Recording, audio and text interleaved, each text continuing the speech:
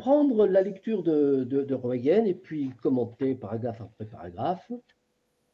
Roegen nous dit L'avalanche de découvertes scientifiques spectaculaires déclenchées par les nouveaux moyens techniques renforça cette admiration générale pour la puissance de la technologie et l'induisit aussi les intellectuels à surestimer et finalement à trop faire miroiter les pouvoirs de la science. Naturellement hissé sur un tel piédestal, nul ne pouvait même concevoir l'existence d'obstacles réels inhérents à la condition humaine. Euh, donc, Regen pointe là euh, la nouvelle, ce que j'appelle la nouvelle religion, ce que Illich également avait pointé en disant que aujourd'hui les scientifiques avaient remplacé les prêtres, et qui, euh, fait que, l'homme placé devant, disons, l'incompréhension de la science, parce que la science hum, est devenue très, compliquée, et l'homme ordinaire ne, la comprend pas. Donc, placé devant cette incompréhension et placé devant euh, quand même une, incertitude un petit peu, un petit peu endémique, il va se tourner vers l'élite scientifique un petit peu de la même façon que l'homme euh, pré-industriel,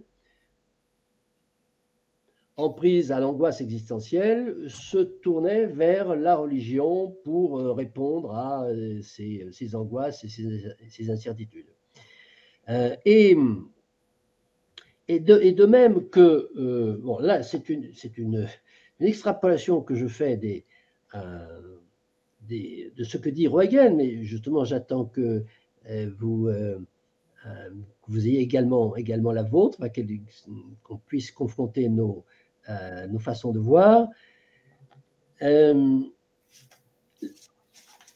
L'évangile étant, basé sur la validation du miracle, hein, puisque aujourd'hui, enfin, euh, les, miracles sont validés par des enquêtes canoniques qui font que euh, l'évangile peut être confirmé et validé en tant que, source exacte euh, par cette, ce, dispositif.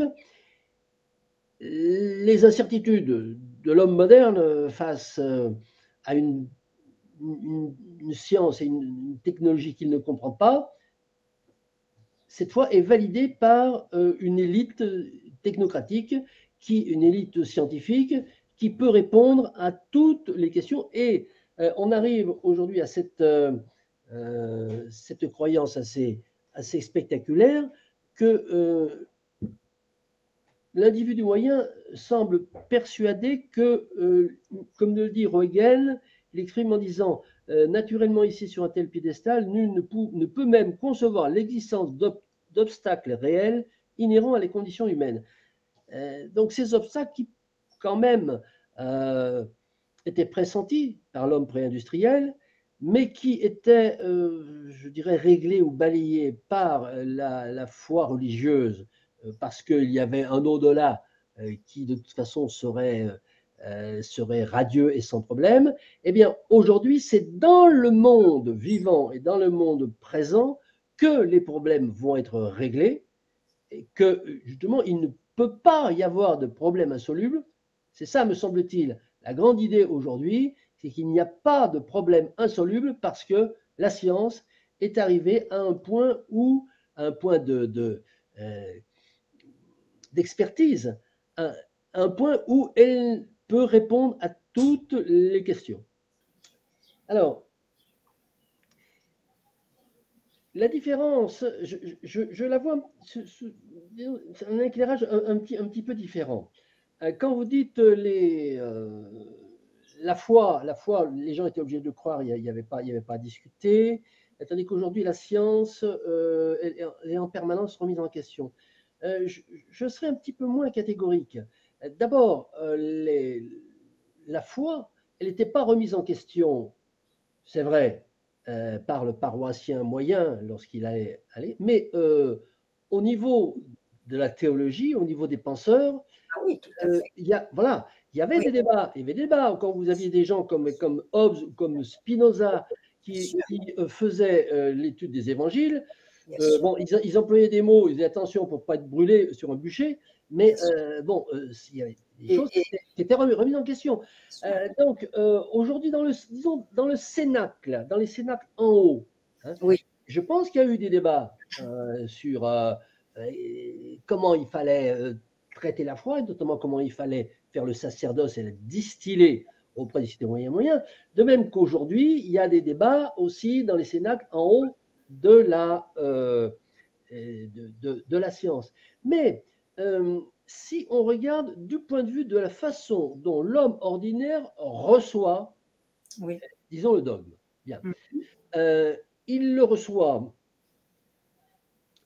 L'homme industriel reçoit le dogme religieux, c'est vrai, euh, du haut en bas, il l'approuve, et ça lui apporte une, certaine sérénité, une réponse à ses questions, tout au moins, euh, ça calme ses angoisses et ça lui donne une clé euh, pour quelque chose, pour l'au-delà. Hmm. Aujourd'hui, il y a quand même une, une, différence, c'est que euh, l'homme ordinaire, il reçoit aussi les, les prescriptions, les ordonnances scientifiques, ils ne les discutent pas. Donc là, c'est pareil. Euh, elles apportent une clé à ces angoisses, parce qu'il se dit, il a quand même conscience. Alors, euh, Reagan dira un petit peu plus loin, il a conscience sans le savoir que tout dépend de la basse entropie. Bon, évidemment, de la rue ne le formule pas comme ça. Mais euh, il se rend compte quand même qu'il y a euh, dans la base du mode de faire alors économique, la base du mode de vie euh, euh, euh, qui est le sien aujourd'hui, il se rend compte qu'il y a des choses qui sont quand même pas, pas gagnées. Et la science lui apporte la, la sérénité en lui disant il n'y a pas de problème, on s'en occupe. D'où le il, il, il, ls, ils trouvons toujours quelque chose. Et Rogen, lorsqu'il fait la liste de ces mythes, c'est le mythe que euh, le pouvoir scientifique, l'élite scientifique trouvera toujours quelque chose. Je pense qu'il dit d'ailleurs, euh, matérialisé par la phrase euh, populaire, ils trouveront toujours quelque chose.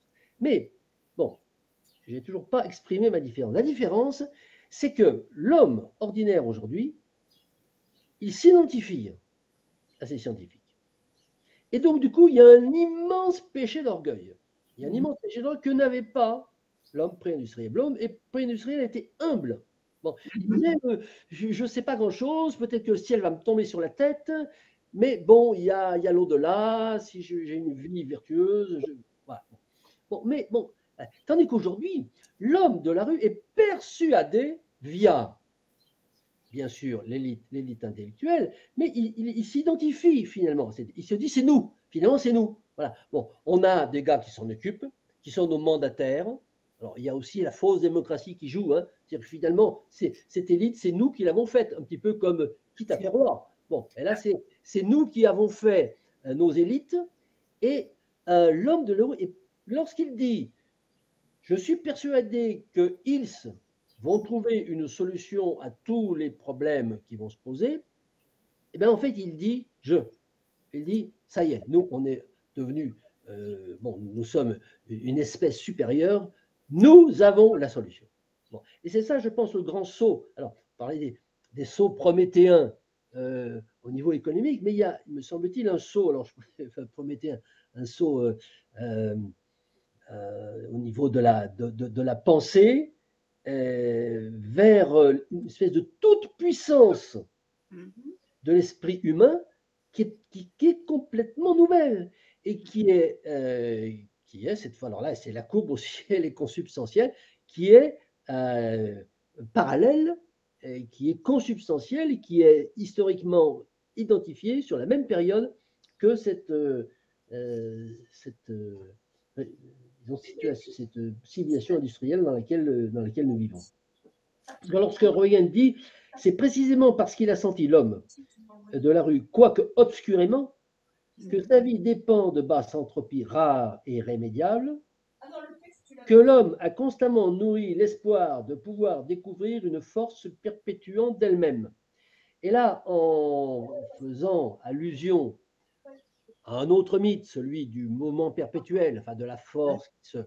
Bon, euh, en fait, l'homme pense qu'on l'a trouvé.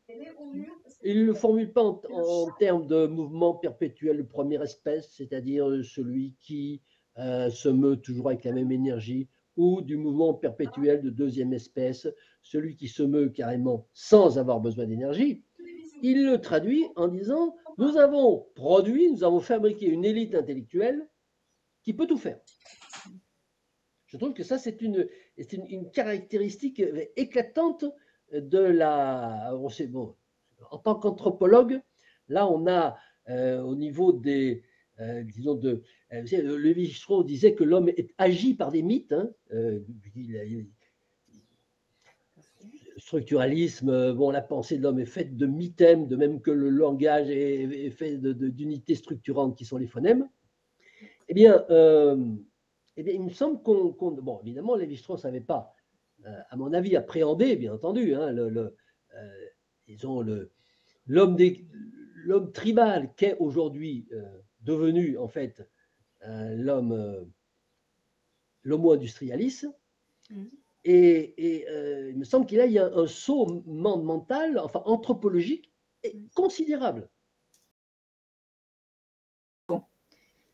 Voilà, alors la question c'est est-ce que, est que euh, cette euh, crise du Covid a ébranlé la confiance euh, de l'homo industrialis ordinaire dans ses élites scientifiques? Voilà la question. moi je pense que la réponse est non. Et alors il y, a, il y, a, oui, non, et puis il y a oui un petit peu. je pense qu'au final, non peut-être même que peut-être même que c'est renforcé. Alors bon, je vais peut-être un peu de provoque en disant ça. Bon. Euh, et c'est ça qui est dramatique. C'est mmh. ça qui est dramatique parce que euh, la, toute la, puissance, la puissance justement de persuasion de cette nouvelle religion, euh, enfin, cet événement, cette crise montre la puissance de persuasion euh, de cette nouvelle religion qui, euh, mise en présence en fait d'une difficulté à, valider son discours, s'en sort quand même très bien. Mm. Donc, euh, je suis pessimiste de ce côté-là, hein. c'est-à-dire que je ne pense pas que... alors, je ne pense pas qu'une qu'une épidémie, même si elle devient plus forte, fasse perdre euh, cette confiance, justement, je ne pense pas. Je pense qu'au enfin, au contraire. Euh, de toute façon, le mondial n'a pas d'autre solution. Euh, il pense qu'il n'a pas d'autre solution. En tout cas, c'est ce qu'on a vu. Alors, on peut tirer, on peut tirer tout un tas de, conclusions de, cet épisode qui n'est pas terminé d'ailleurs. Hein. On, peut, faire déjà une, conclusion euh, par étapes. Mm. Euh, est-ce que, est que ça ébranle la confiance scientifique et donc par ricochet est-ce que ça ébranle la confiance dans les prescriptions du, GIEC Est-ce que ça ébranle la, la, confiance dans le discours sur le développement durable, qui est un discours qui envahit tout? Hein, depuis les boîtes de conserve jusqu'aux pneus des voitures, tout est développement durable, etc. etc. Bon, est-ce que ça, euh, est-ce que ça ébranle la confiance dans la transition euh, énergétique et écologique, c'est-à-dire on va avoir une autre source d'énergie hein? Bon, est-ce que ça ébranle cette confiance? Bon, euh, la, question est, la question est posée. Hein? En tout cas, alors, chacun peut avoir son opinion. Moi, je connais des gens qui. Bon, ça dépend de, son, de, son, premier cercle. Si dans son premier cercle, on a des gens qui pensent qu'on va être tenté. Mais euh, majoritairement, on est bien obligé de, tenir, de voir ce qui se passe, pas de ce que va vous dire euh, euh, votre relation proche lors du, dernier dîner de, famille, mais de voir ce qui se passe au niveau mondial. Mm-hmm. Et au niveau mondial, on ne voit absolument rien qui change. C'est-à-dire, on ne voit pas, euh, je ne vois pas de signe hein, en tout cas, je souhaiterais qu'on puisse me les énumérer, parce que vous savez que j'adore la contradiction, argumenter, et qu'on puisse m'énumérer des signes qui fait que les, les alors, on parlait des élections. Bon, déjà, ce serait un premier signe que les, les, citoyens hein, se détournent du récit qu'on leur fait Bien sûr. Hein, et disent nous n'avons plus confiance. Bon,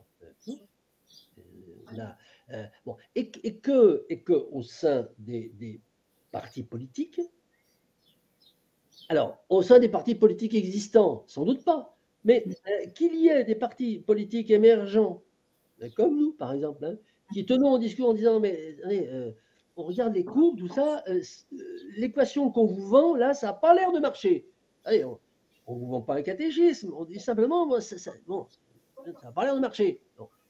Mais ce, discours, hein, et euh, je suis bien placé pour savoir, parce que ça fait plus de dix ans que je le tiens, je ne le vois pas progresser. Hmm.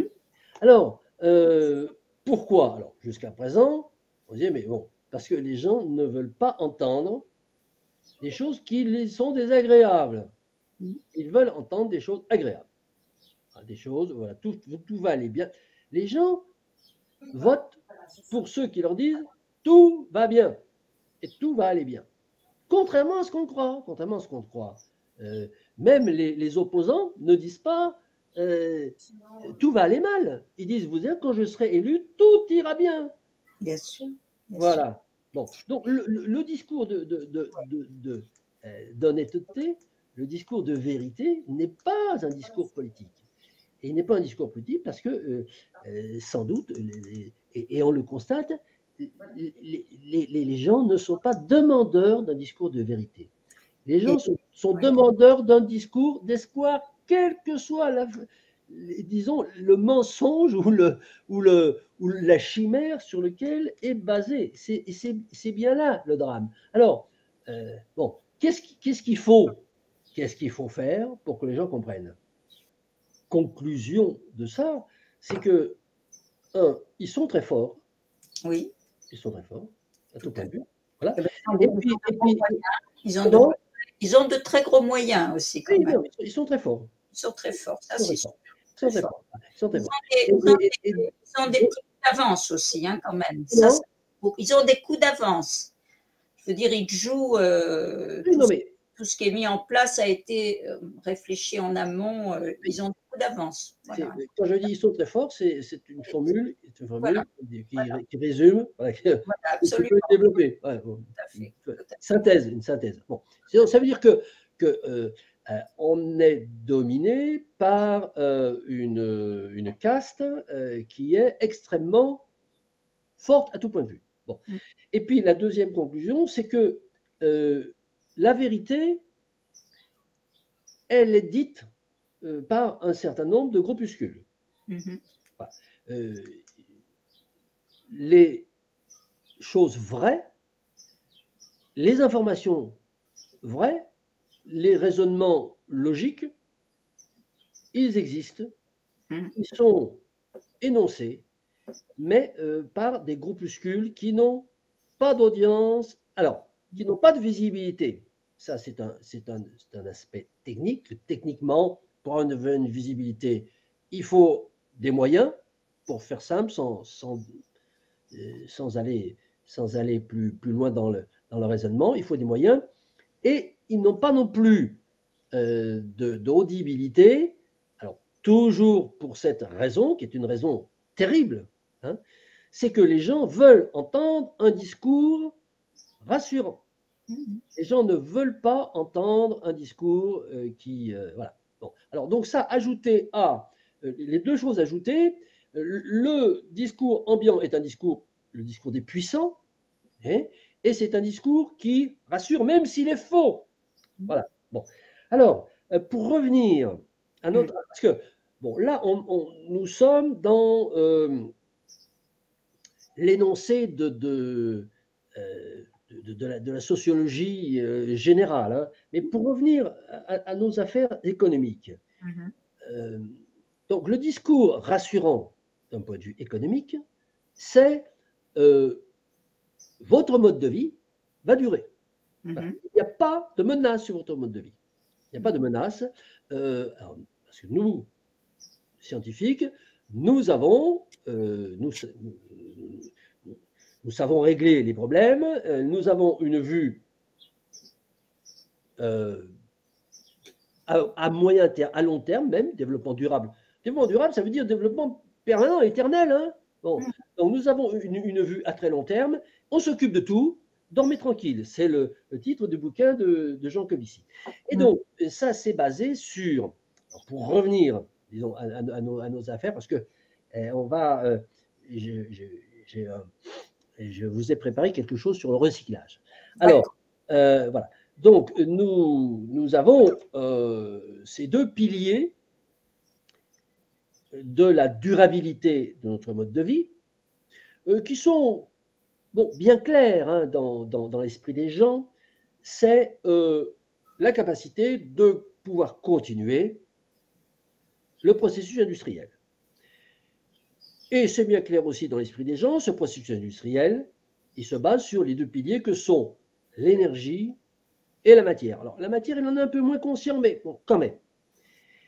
C'est la raison pour laquelle nos élites nous vendent et nous disent qu'ils savent faire une transition énergétique, à savoir que les énergies que nous avons aujourd'hui, bon, euh, on va bientôt plus en avoir, mais on en aura d'autres, donc pas de problème. Et puis la matière, alors on n'en parle pas beaucoup, mais on est bien obligé quand même d'en parler un petit peu. On dit la matière, bon, il n'y a pas de problème non plus parce qu'on va la recycler. Alors attention, quand, on parle du recyclage, on parle pas du recyclage, qui est encore un mot polysémique et euh, qui, euh, qui génère un certain nombre de confusions. On ne parle pas du recyclage des déchets. Mm-hmm. On n'est pas dans une, d'un débat sur l'environnement. Là, on ne traite pas de l'environnement, on traite de, euh, on traite de l'économie, on traite de la production. Oui, Voilà, donc le recyclage des déchets, parce que les déchets, euh, c'est vilain, c'est pas beau, ça sent mauvais, ça abîme l'environnement, on va les recycler pour qu'ils soient, pour qu'il n'y en ait plus, et puis pour qu'ils ne soient, pas, soient pas polluants. Non, c'est pas ça. C'est la matière, c'est-à-dire les minerais, les minerais, c'est euh, le fer, le cuivre, le zinc, le cobalt, enfin tous les minéraux, si vous voulez, qui sont présents dans le tableau de Mendeleïev et euh, dont euh, a besoin le processus industriel pour fabriquer les biens de consommation que nous utilisons, ce fauteuil, cette, lampe, ce stylo, voilà, on a besoin d'énergie et, de matière.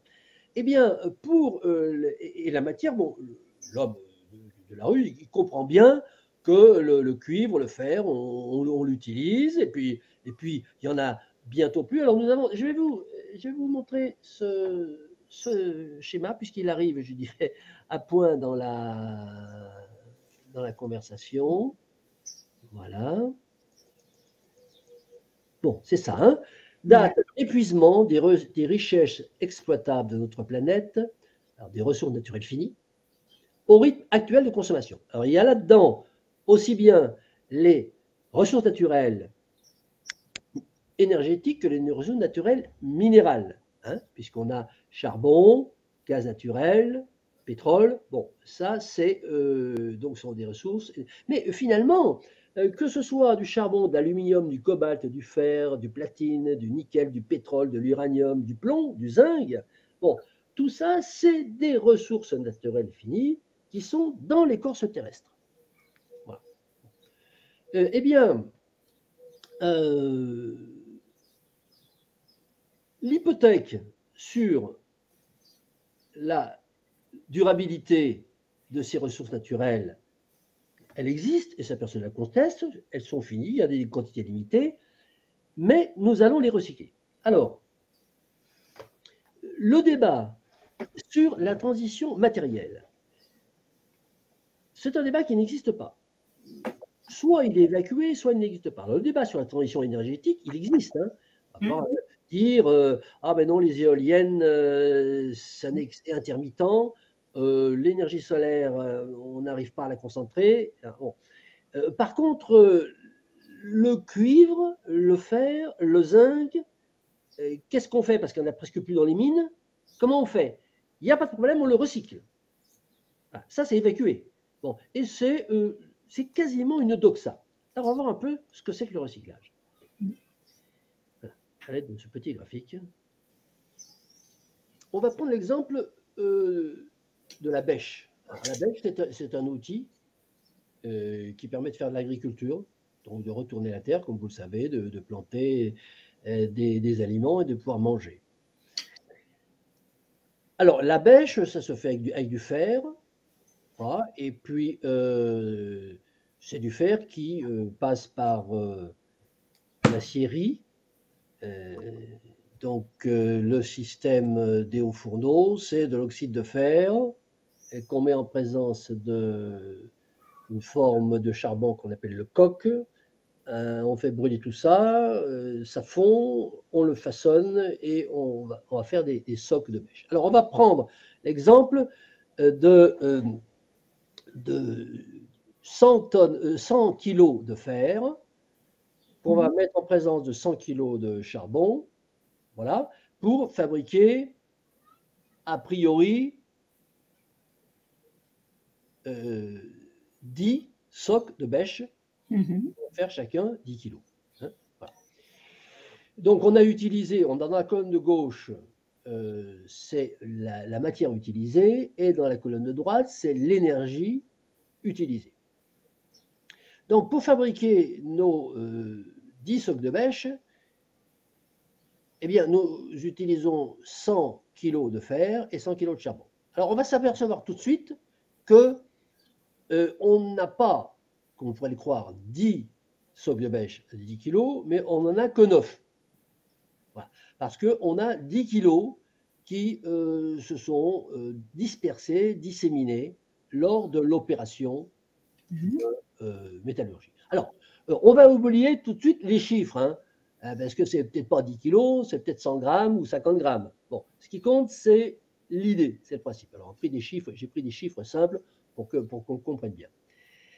Et donc, euh, avec, avec 100 kilos de fer, eh bien, je, sors 9 socs de bêche de 10 kilos. 90 kilos, j'ai perdu 10 kilos. Et j'ai utilisé 100 kWh de charbon. Alors, euh, on remarque quand même qu'on a de l'énergie qui s'est dégradée, qui s'est dissipée, et euh, également de la matière qui s'est dégradée, dissipée, et qu'on ne pourra plus récupérer. Et nous, la collectivité, donc, s'est enrichie de neuf socs de bêche, et au bout d'un certain temps, on va dire au bout de 20 ans, ces socs de bêche sont usés, euh, c'est-à-dire qu'il va falloir les recycler les recycler parce qu'ils sont tout tordus, tout troués. Et donc, euh, euh, eh en vertu du principe du recyclage, nous allons donc les refondre à nouveau et refaire de, de nouveaux socs de bêche. Alors, on va négliger déjà une donnée quand même qui est très importante, mais on, va être gentil dans nos calculs, c'est-à-dire qu'on on va calculer de façon extrêmement optimiste le résultat sera en fait plus pessimiste. On, va considérer que, au bout de 20 ans, nos socs de bêche qui pesaient chacun 10 kg vont toujours peser 10 kg, ce qui est faux. Ce qui est faux parce que euh, votre bêche qui pesait 10 kg aujourd'hui en 2020, en 2040, elle pèsera, elle pèsera sans doute 9 euh, kg euh, ou 9 kg 500, mais il y a 500 grammes qui aura disparu. Alors non, qui, qui, ce sera disséminé dans la nature Hein, rien ne se perd, rien ne se crée, mais euh, qui ne pourra pas être récupéré. Alors, pour euh, retravailler ces neuf socs de bêche et pour ressortir des socs de bêche tout neufs, il, faut, il va falloir aller les chercher, les collecter, parce qu'ils ne sont pas tous au même endroit. Donc, nous allons voir, c'est le, petit, le petit euh, véhicule, là, un véhicule de collecte, qui va euh, passer euh, à chaque endroit où il y a un soc de bêche pour récupérer. Alors évidemment, tout ça est très caricatural, mais c'est pour comprendre le principe. Mais ce véhicule, il va utiliser du métal aussi. Mm. Il va utiliser du métal parce qu'il y a les roues qui tournent, il y a les bielles qui, qui, qui, font des va-et-vient. Tout ça, ça fait de l'usure, et donc il y a du métal qui se dissémine. voilà, c'est 1, ici, 1 kg. Et puis, il utilise de l'essence pour se déplacer, donc il utilise de l'énergie. 10 dans la colonne de droite. Dans ces colonnes, nous avons tout ce qui est consommé par euh, ce fameux système de recyclage qui doit nous sauver de l'extinction fatale. Ensuite, euh, le camion chargé de ces neuf socs de mèche arrive dans l'usine de retraitement. L'usine, ben, c'est un bâtiment avec des machines à l'intérieur, et ces machines voilà, vont travailler les neuf socs de mèche avec euh, de la matière les machines sont faites avec de la matière, les machines en fonctionnant s'usent et elles perdent de la matière. Et en, fonctionnement, en fonctionnant, elles dépensent de l'énergie. Donc voilà, elles vont perdre 2 kilos et elles vont utiliser 90 kWh. Et nos 9 socs de bêche, qui ne pesaient plus 10 kilos, mais bref, on va considérer qu'elles pesaient 10 kilos, eh bien, euh, lorsque nous allons les retraiter, on va s'apercevoir qu'on n'a plus que 8 socs de bêche. Donc, euh, on va perdre une bêche. Donc, euh, lorsque je rentre 90 kg, je ne ressors que 80 kg. Et ainsi de suite, à chaque fois.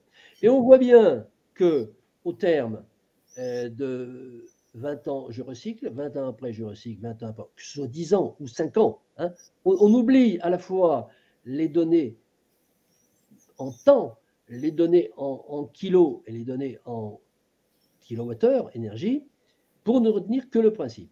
Et on s'aperçoit à la fin, quand on fait le total, eh qu'on a euh, perdu toute la matière, c'est-à-dire qu'on n'a plus rien, on n'a plus aucun soc de mèche. Donc, donc l'idée du recyclage était bien un mythe, et que pour arriver à zéro, avons consommé, vous voyez ici, euh, bon, 950 euh, kWh pour arriver à zéro. Alors, évidemment, euh, pendant tout ce temps, nous avons utilisé les socs de mèche. Ceci, nous ne le contestons pas. Mais ce que nous disons, c'est que ce processus, fatalement, il tend vers zéro. Donc, vendre le recyclage comme étant une solution qui règle le, problème de la matière est une idée fausse au mieux, un mensonge au pire. Le recyclage fait durer plus longtemps les, la première génération de socs de bêche qui, sans recyclage, eh bien, euh, serait devenu inutilisable au bout de la première décade. C'est tout. Mais il le fait au prix euh, d'une utilisation relativement importante d'énergie, c'est-à-dire que pour recycler, il faut de l'énergie, énergie qui va manquer. Mais chose aussi qui n'est pas dite, c'est que euh, il le fait au détriment de l'utilisation de matière matière des véhicules de collecte et matière des machines qui recyclent, des machines de recyclage. Et ça, c'est une chose qui n'est pas dite. Personne ne vous dit que pour recycler, tout le monde dit oui, pour recycler, il faut de l'énergie, mais il faut de la matière aussi, il faut, faut aller chercher de la matière ailleurs pour recycler la matière. Voilà. Donc, euh, ce petit exemple extrêmement schématique hein, qui, euh, qui, est destiné aux élèves de CM2 eh bien, euh, montre de façon extrêmement claire que le recyclage n'est pas une solution. Elle est tout ce qu'on veut. Elle, est un outil, elle est un, dispositif pour faire durer plus longtemps des objets qui viendrait à péremption euh, euh, mm. si on ne les recyclait pas. Mm. Mais elle n'est pas une solution. donc, le développement durable, plus encore par sa composante matière, le développement durable du processus industriel, mm. plus plutôt par sa composante matière est euh, voué à l'extinction que pour sa composante